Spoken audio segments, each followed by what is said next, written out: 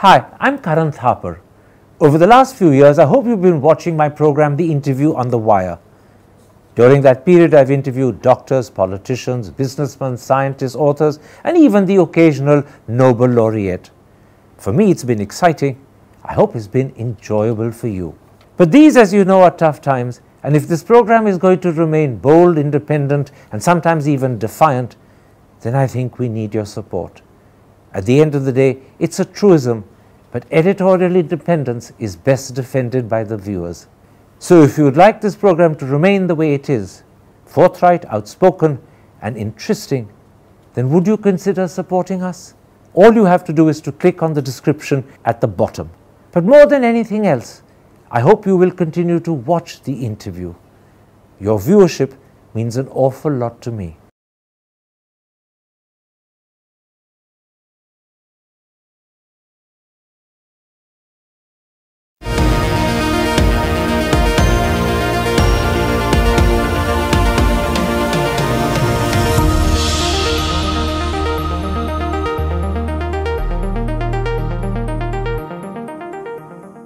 Hello and welcome to a special interview for The Wire.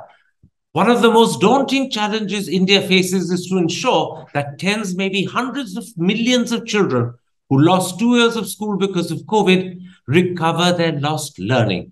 This is not just critical for the children themselves, it's fundamentally important to the future of our country. So today we ask, how is India faring? Joining me to answer that question is the CEO of the Azim Premji Foundation and the Vice Chancellor of the Azim Premji University, Anurag Behar. Dr. Behar, in a recent article for Mint, you wrote about your observations of how schools are progressing in terms of helping children recover the learning they've lost, because for two years during COVID, schools were virtually shut down. You say, and I'm quoting you, the All India report card seems mixed. And it turns out that it varies class to class, school to school, state to state. So could you start by expanding on this?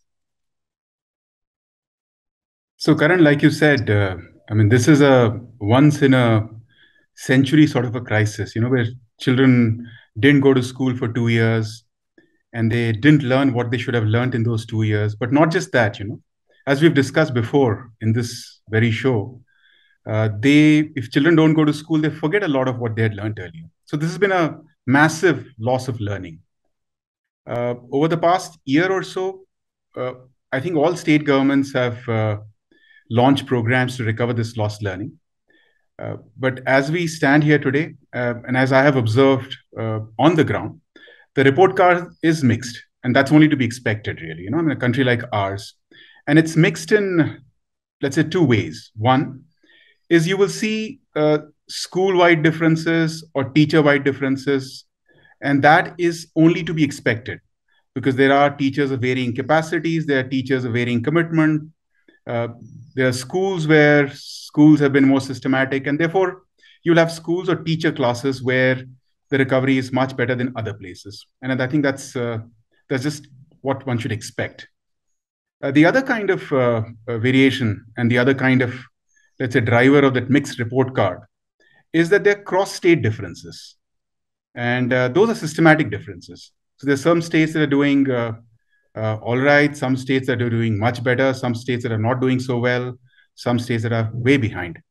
And therefore, that just points to the fact that uh, while there will be teacher-based differences across schools, but there are certain kind of uh, measures that at systemic level we are taking or not taking which can enable or hinder this recovery of lost learning. Now, before I come to discuss the examples you provide in your Mint article about schools and how they're faring, because I think those examples are eye opening and they illustrate the problem. Let me, for the audience, actually state what lies at the heart of the problem. For example, and this is something you cite in your article, children who are who were in class three in March 2020, when schools shut down, are now, after schools have reopened, in class six, which means they've never been through classes four and five. That also means that three years of teaching has to be crammed into one. And as you pointed out, this problem can be made additionally difficult by the fact that many of the children have actually forgotten a lot of what they learned in class three. So there's a huge amount of lost learning that has to be made up in one year. And it has to be made up, for instance, in this example, by children who are in class six having to catch up for what they never taught in four and five. That is the heart of the problem, isn't it? Absolutely. That's the heart of the problem. And uh, just so that we are perhaps a bit more specific, uh, the schools were completely shut from that March uh, 2020 period to, let's say, the, for the next year. Subsequently, uh, while they were again shut for the second wave, they were sort of sporadically opened across the, the country, right? Uh, but, you know, education didn't really happen. So one can really say that uh, they were, I mean, education was disrupted for that entire two year period. And it led to exactly what you said. Absolutely exactly what you said and uh, it is indeed a staggering task. Uh, how does one recover three years of learning or two years of learning and this year's syllabus, so to say, in one year? And uh, you know, as we have discussed before, different states uh, launched programs for recovery of lost learning because uh, this is a crisis that everybody is fully aware of. And uh, i would say that most of the design of the programs was very reasonable. But before we come to that, let's go to the illustrations you provide because I think it's important for the audience to realize what this actually amounts to. Now, you cite the example of a class six that you visited with 16 children. You say, and I'm quoting you, only two of the children can add two digit numbers. Eight can write legibly, but only three of them can write a sentence with minimal cogency. Then you add, when asked to read what I write, five of them read haltingly, some of the rest simply recognized letters, but a few recognize nothing.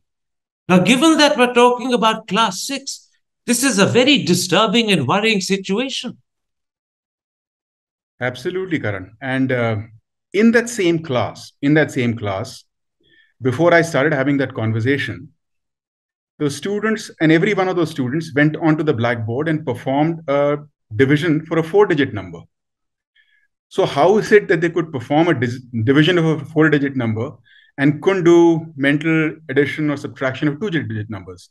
And the answer is very simple because it's not as though they had learned anything, it is just that they have a by rote or they just memorize certain sums and they're just writing it on the blackboard. And the moment you take away from those sums and bring them back to the very basics, Unfortunately, those kids have forgotten whatever they had learned, perhaps in class three, and uh, have not learned much. And that comes off uh, uh, that comes off the fact that uh, at least in that class or in that school, there was very little attention to recovering lost learning. The entire focus was on what should have been the syllabus or what is the syllabus for the so-called current class. And that's meaningless you know because if the kids don't know the basics they don't know what is to be known in class 3 class 4 class 5 and you start teaching them the syllabus of class 6 what's the point?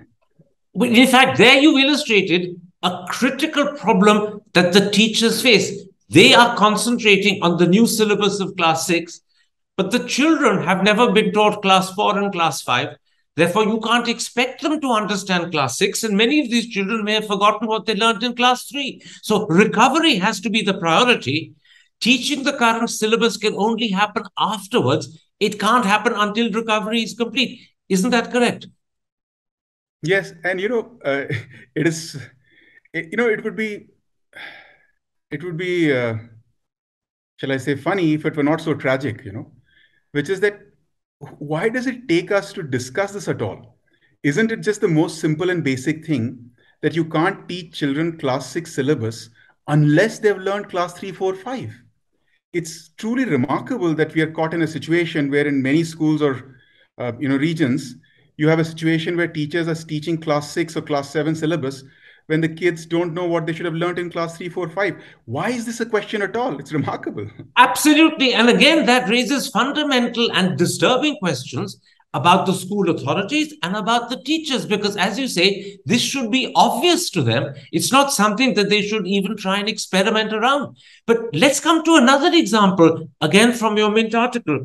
You visited a class 4 this time in a different school and in a different state to the earlier class 6 And here you found that none of the 13 children could either read or write.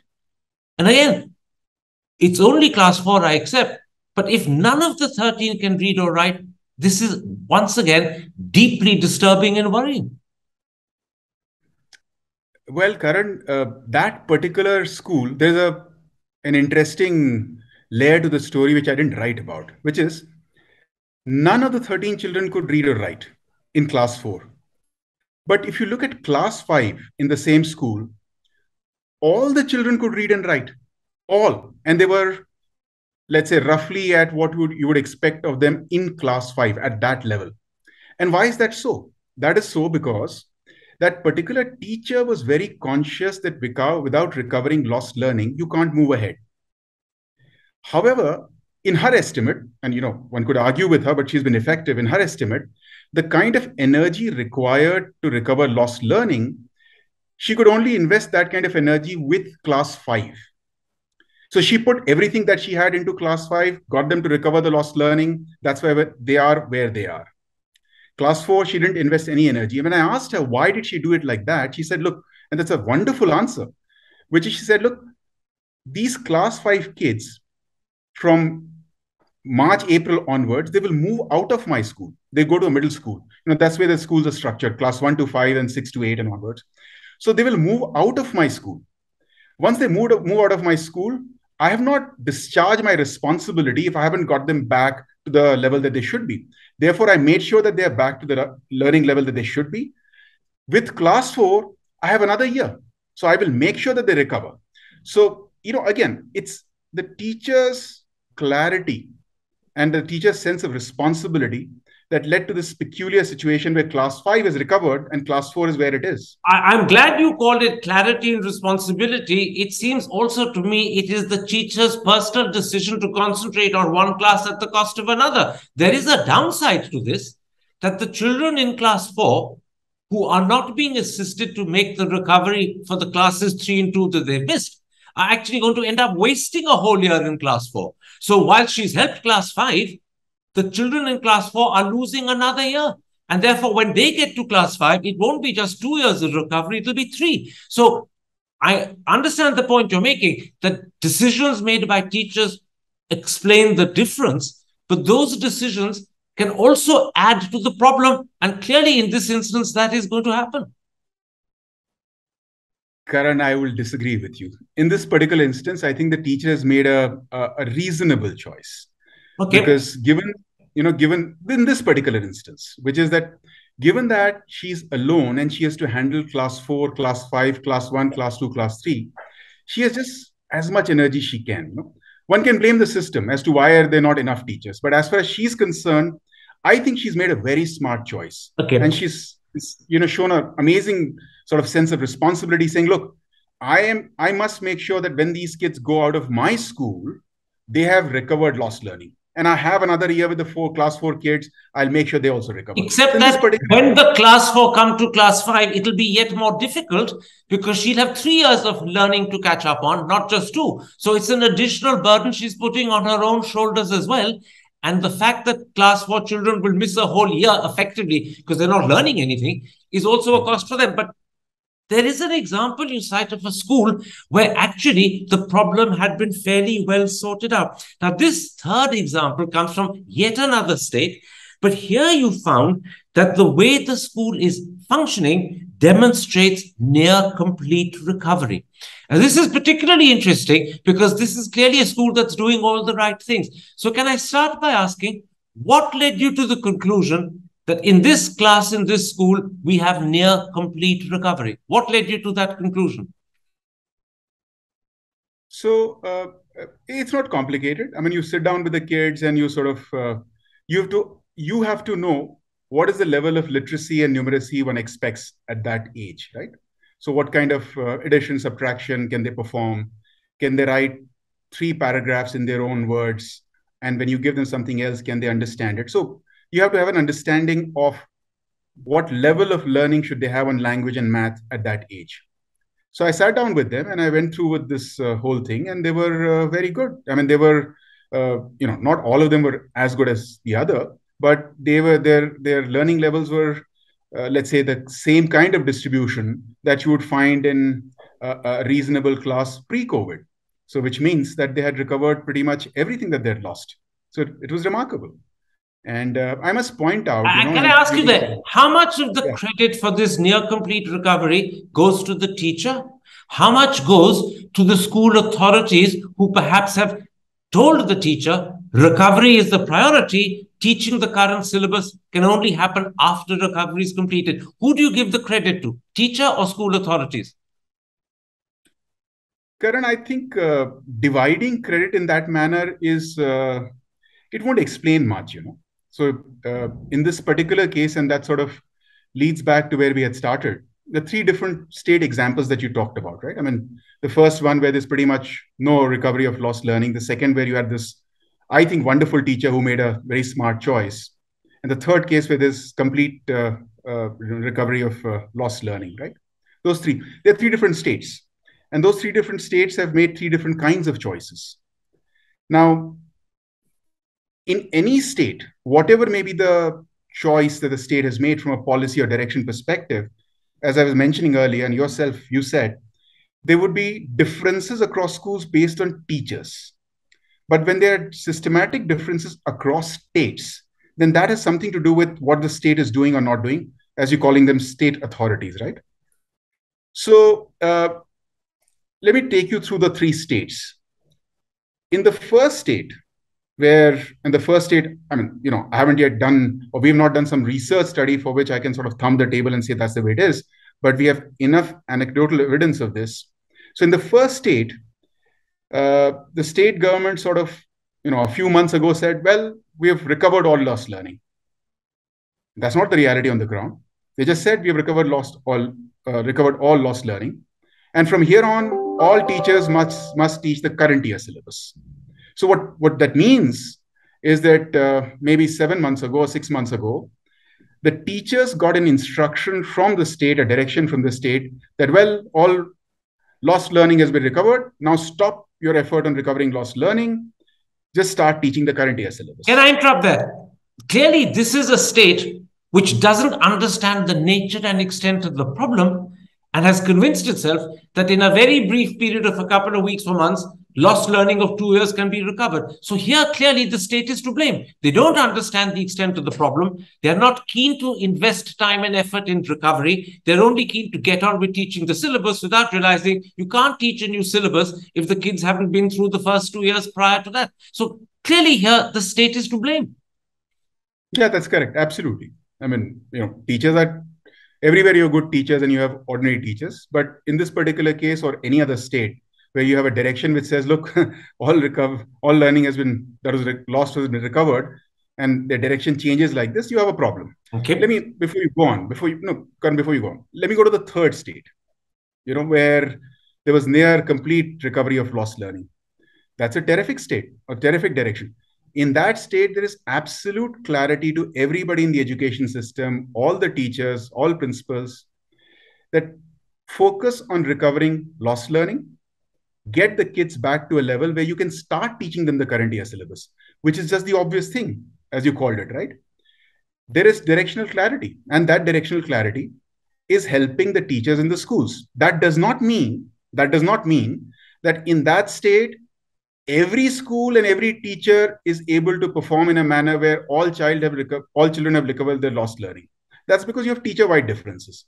But if you look at the state overall, because the state has been so clear absolutely clear that recover lost learning, that is the priority. It doesn't make sense to start teaching this year syllabus unless you recover lost learning. That is why you see that difference. So the second state, on, second state is somewhere in between, you know, a little bit of mixed messaging that, yeah, yeah, you know, uh, some learning which has uh, been lost has been recovered. So maybe you can start teaching part of the syllabus now, but you must also focus sort of mixed messages there in the second state. So can I then say two lessons emerge from your anecdotal observations of three states and schools within those three states. First, the lesson that emerges is you need clear direction from the state authorities to teachers and schools that recovery is the priority. You cannot start teaching a new syllabus until the recovery is complete. That is critical because that is what made the difference in that school where you went to, where you said there was near complete recovery.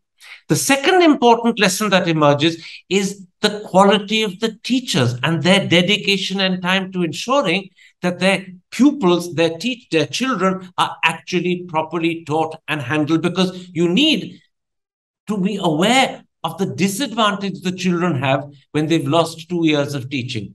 So the second lesson is teachers. The first is state authorities. But there is a third lesson and you don't write about this in your article, but it emerges from our conversation. It emerges from the fact that there was this teacher who concentrated on class five and said, I won't worry about class four. I've got a year with them later on. That is because there aren't enough teachers. Surely state authorities should have realized that at this time we need to increase the teachers in each school. That is another lesson that has to be learned. You need more teachers. Mm. uh, so uh, I yes and no, Karan, and yes and no because yes, of course, we need more teachers in school, schools such as that. There's no question about that.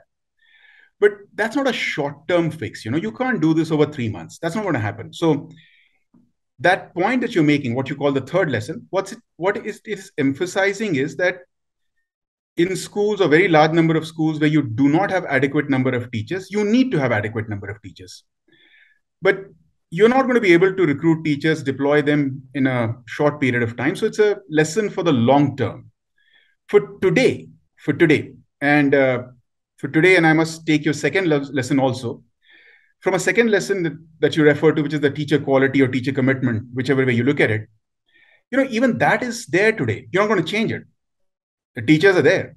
So the question is, given the number of teachers that we have, and given the distribution of their commitment and capacity that teachers have, which you can't change overnight or three months in six months' time, it is not going to happen. What is the most important thing? The most important thing, by far the most important thing, is for the state to give clear directions to teachers that prioritize focus on recovering lost learning. And there are states that have done that marvelously, absolutely clear. And there you can see that they're recovering lost learning much better. And there's states that are either confused or they're declared victories, you know, which is just unwarranted. Let me end this interview by putting this to you. Are state authorities aware of the extent of the problem the children in their states face? Because they may be aware of the problem theoretically, but are they aware of the extent of the problem? And secondly, have they prioritized it sufficiently? Because if there is a difference in the way states are responding, clearly that also suggests that their awareness of the extent of the problem and the priority they're giving it differs state to state. Yeah, I think, Karan, so, I mean, the states that are giving such clear directions, the states that have given such clear direction and they have designed good programs for recovery, clearly they understand the reality. They won't do it otherwise. And, you know, I talk to them all the time and uh, they are very conscious of it and they're totally focused on it and they're deeply committed. In fact, some some. What about the other states? The ones that I'll come to that. I'll, I'll come to that.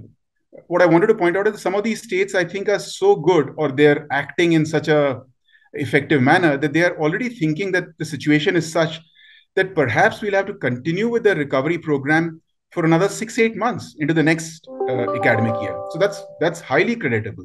And of course, on the other end, you have states which seem to have declared victory six months ago, saying all le- lost le- learning has been recovered.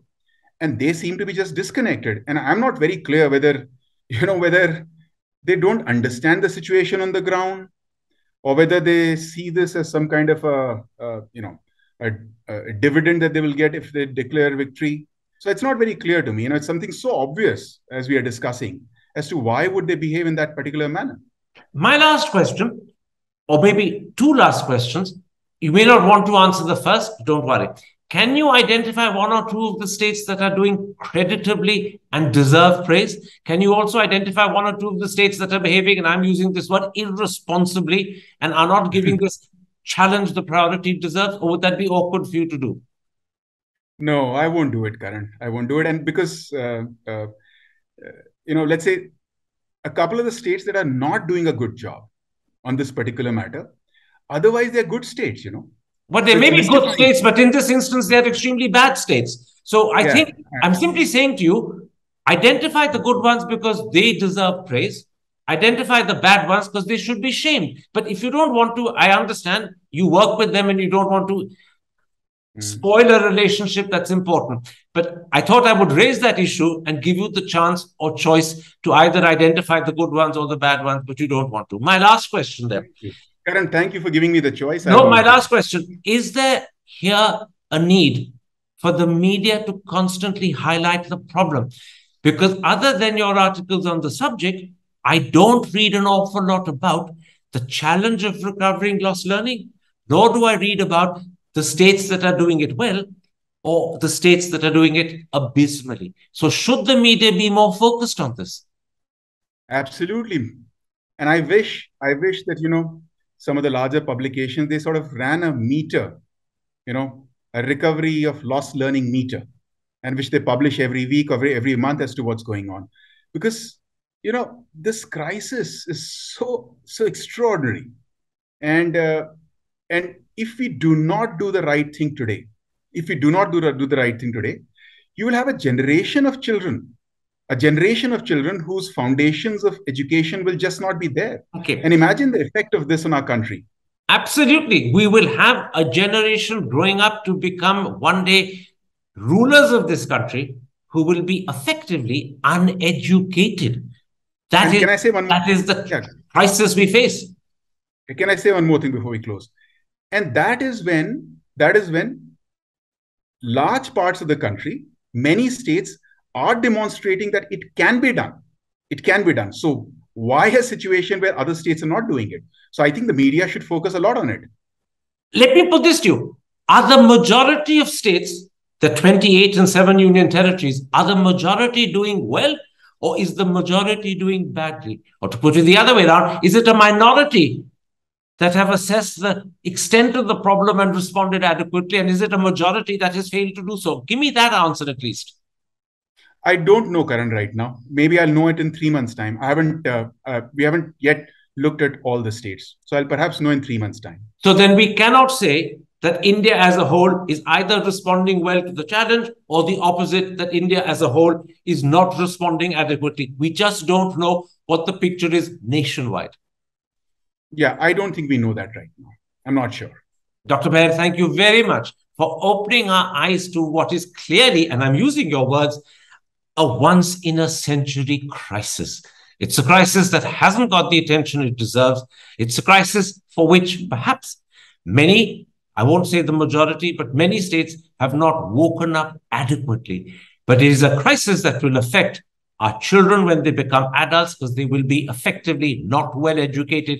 And it will also affect the country because they will be the people who run this country in the future.